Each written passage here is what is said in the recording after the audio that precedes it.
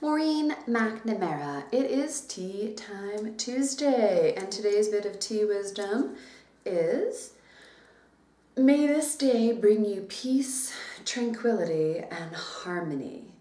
And I, I'm a fan of creating our day. And one of the things that I do consistently in the morning is I ask questions and set intentions. Now, mostly this feels more of a, a blessing. May this day provide peace, tranquility, and harmony. I would invite you to create this day with any of the energy that you desire. And here's a couple ways to do this. The, the statement can, if that works well for you, please use that. Or you could try this be in wonderment.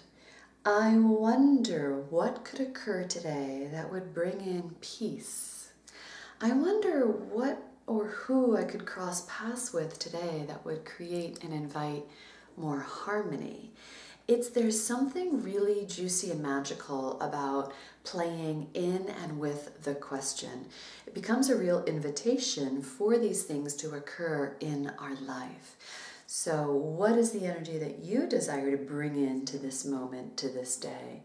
And how could you frame that in a question that really then creates an invitation for that to occur without expectation. So I might start my day, I often do, asking questions. I wonder what could occur today that's better than I could have ever thought. I wonder who I could meet today that I could be a true contribution to and they to me.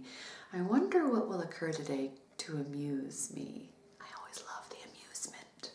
So, whatever this day you believe would be a contribution to your present and your future, invite those energy ins. Be curious about how you could invite that energy in, and then allow the magic to occur. Here's to you living the juiciest, joyous life that you can. I'll see you soon.